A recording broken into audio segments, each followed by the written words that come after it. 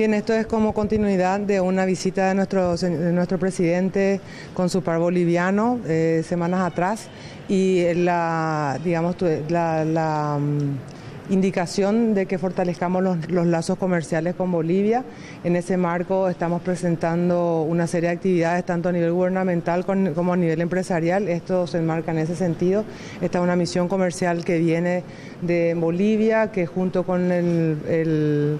junto con el trabajo organizado de Rediex, le ha preparado una, eh, una contrapartida, de una lista de gente de contrapartida y van a tener una rueda de negocios en este momento para intercambiar eh, las, potencialidades, por supuesto nosotros buscando atraer eh, inversiones, pero también sobre todo promover nuestras exportaciones a un mercado boliviano